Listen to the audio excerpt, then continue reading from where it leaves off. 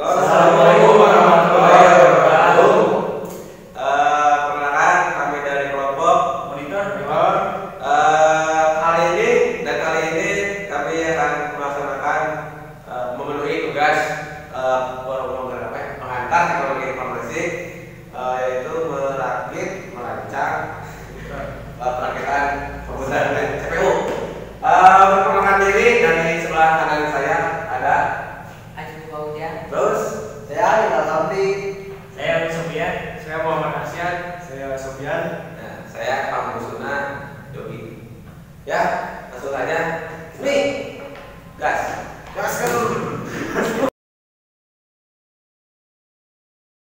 Ya, kita berdua di sini akan menjelaskan komponen yang diperlukan untuk merakit sebuah PC. Yang pertama, kita akan mulai dari casing yang bentuknya seperti ini. Terus ada motherboard, Lalu ini hard disk. Lalu ada prosesor, prosesor. Lalu ini RAM. Lalu ini baterai CMOS, CMOS. Power power, supply. ini kipas. Lalu ini ada kabel SATA. Lalu ada baut.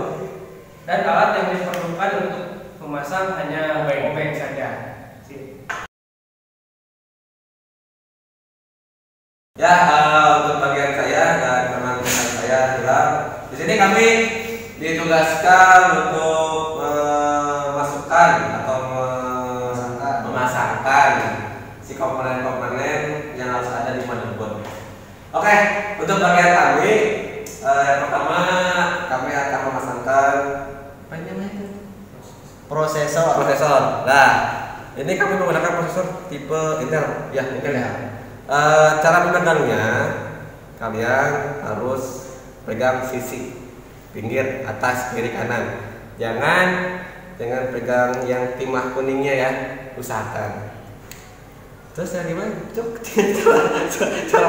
Cara memasangkannya kita tinggal buka dulu terlebih dahulu kuncinya, lalu pasangkan. Eh, di Nah. sini eh, ada perbedaannya.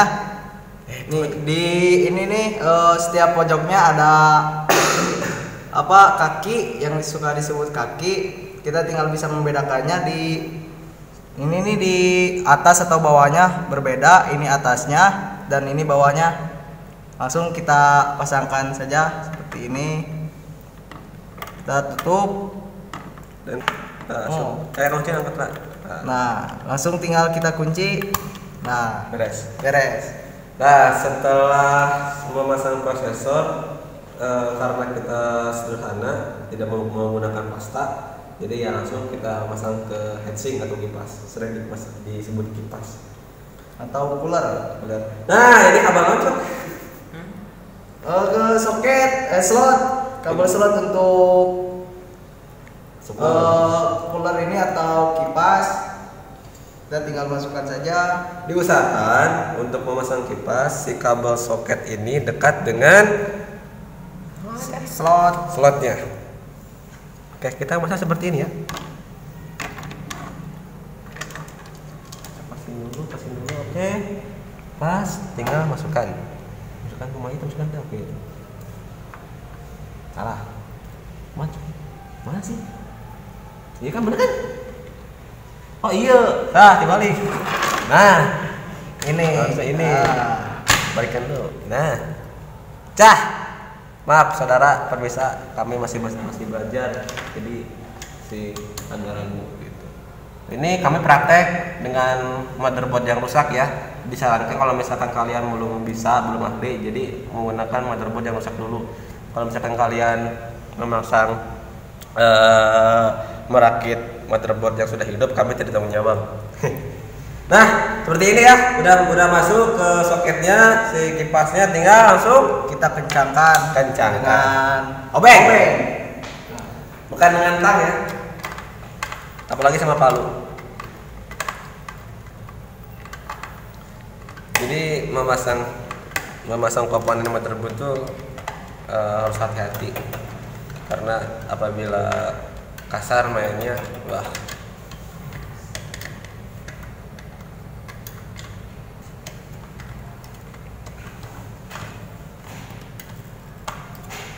Dah kencang ya. Kalian usahakan ini aja harus kencang. Jangan jangan longgar jangan uh, mudah mudah terlepas karena ntar kalau bisa apabila si motherboard eh, nyala kipasnya ntar kipasnya kalau tidak kencang akan ke mana-mana jatuhnya.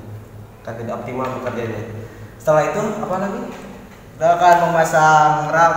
Nah RAM ini kita punya tipe tipe berbeda. Ini ada ini contohnya motherboard bertipe RAM-nya DDR3 dengan kapasitas eh, dengan kapasitas 2 GB. fungsinya untuk apa, apa kak? Eh, fungsinya untuk penyimpanan bukan penyimpanan tetapi untuk sebuah software auto running ya, ya seperti Semadap, OS, Windows ya seperti itulah. oke coba kita Dan cara memasangkannya kita harus lihat dulu ini kakinya di mana posisinya. Lalu kita pasangkan saja. eh bukan dulu kuncinya kuncinya bukan dulu kaset Tinggal lihat satu. Nah, nah gampang kan mudah sekali mudah kalau untuk memasang RAM tinggal buka terlebih dahulu kuncinya. Lalu cara pemasangannya juga eh, berbeda-beda. Kalau kuncinya rusak bisa satu-satu. Kalau kuncinya ini masih normal normal kita tinggal seperti ini untuk pemasangannya. Kita langsung memasukkan saja. Dan lalu kita tekan. Nah. kunci. nah.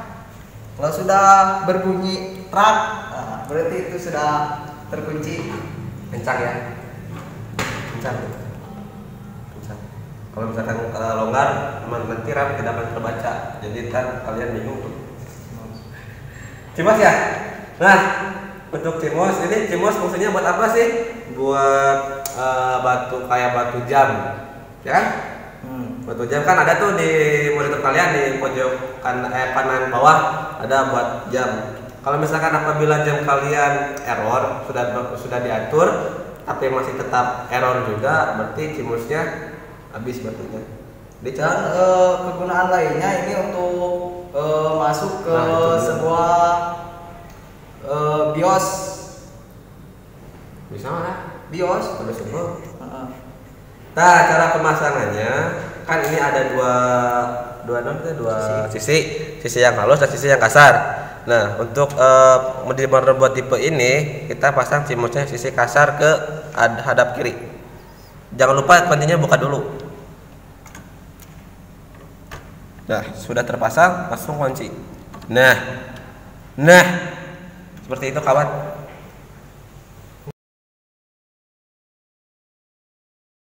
Eh, kita akan melanjutkan dari dari yang tadi memasang prosesor, heatsink atau RAM.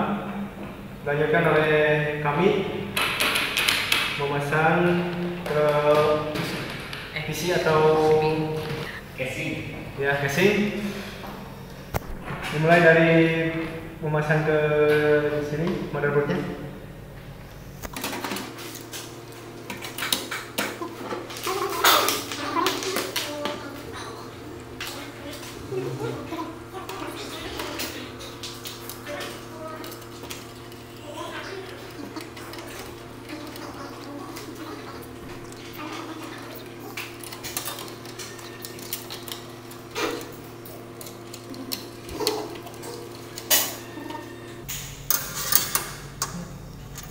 Pemasangan baut tidak ter- tidak perlu terlalu banyak ya. Agar mudah saat perbaikan atau ada kerusakan mudah dibuka lagi. Lalu ke pemasangan power supply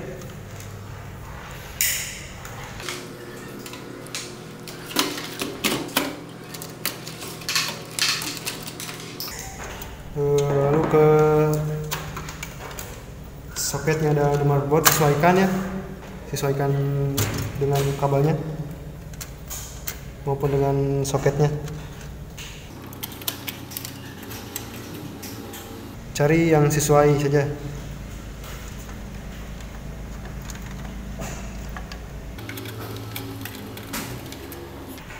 Lalu pemasangan OCD room dulu.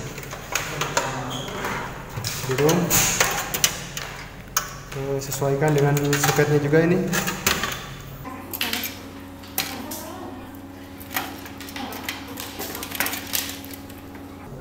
Sesuaikan dengan soketnya ya.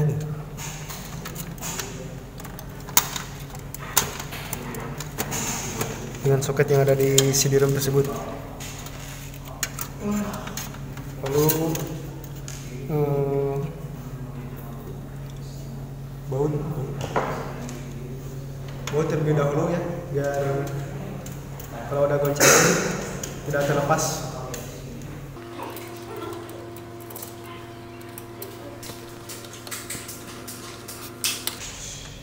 Cukup satu baut saja. Lalu pemasangan harddisk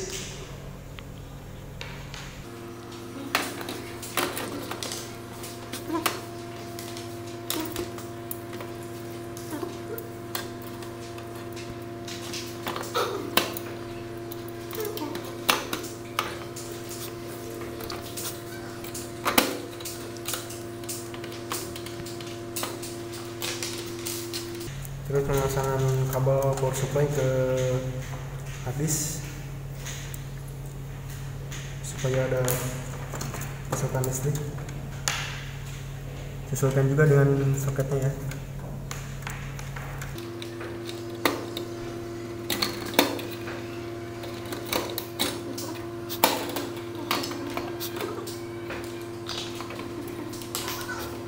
Lalu pemasangan kabel SATA dan ATA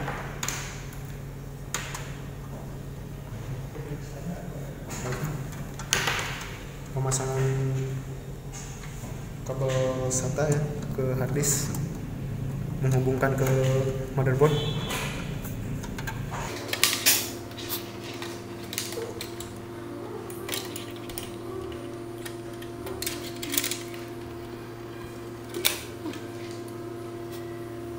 Ini harus terurut dari mulai soket SATA 1 ya kemudian pemasangan katak CD-ROM untuk menghubungkan ke motherboard.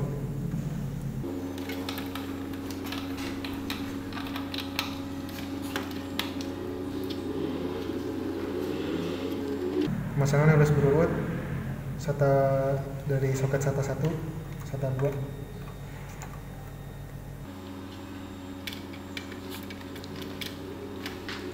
setelah itu eh, pemasangan kabel USB panel audio.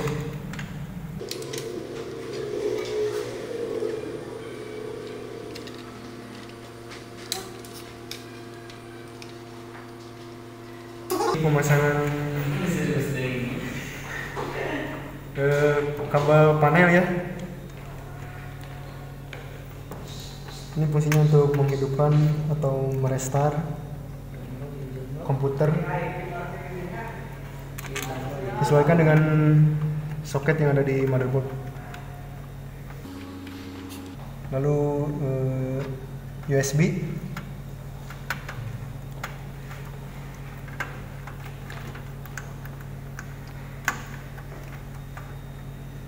terus juga sama USB